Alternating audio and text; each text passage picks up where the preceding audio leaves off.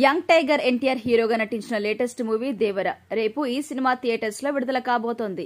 ఈ సినిమాపై భారీ అంచనాలు ఉన్నాయి. జనతా గ్యారేజ్ తర్వాత ఎన్టీఆర్ కొరటాల శివ కాంబినేషన్లో ఈ మూవీ తెరకెక్కడంతో ప్రేక్షకులు కూడా ఈ సినిమాపై ఆసక్తి చూపిస్తున్నారు.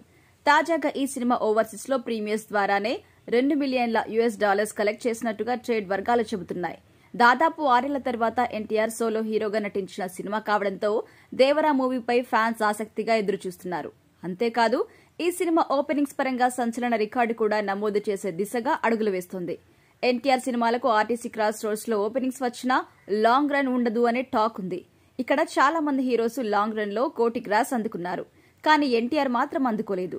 ట్రిపుల్ ఆర్ మాత్రం అడ్వాన్స్ బుకింగ్స్ రూపేణా డెబ్బై ఐదు లక్షల గ్రాస్ అందుకోగా రెండో రోజు కోటి గ్రాస్ వసూలు అందుకుంది. ఇక తాజాగా ఈ సినిమాకి తెలంగాణ ప్రభుత్వం స్పెషల్ షోస్తో పాటు ఒక రోజు టికెట్ పెంచుకోవడానికి అనుమతులు ఇవ్వడంతో ఈ సినిమాకి అడ్వాన్స్ బుకింగ్స్ రూపంలో ఇప్పటికే కోటి రూపాయల గ్రాస్ వసూలు చేసింది.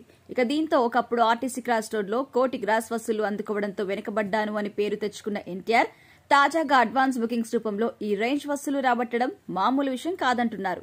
రీసెంట్గా వచ్చిన ఎన్టీఆర్ అన్ని సినిమాలకు పూర్తి స్థాయిలో పాజిటివ్ టాక్ రాలేదు.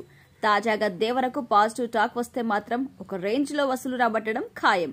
అంతేకాదు దసరా సెలవులు ఫుల్ క్యాష్ చేసుకునే అవకాశం ఉందని ముచ్చట కూడా వినబడుతోంది.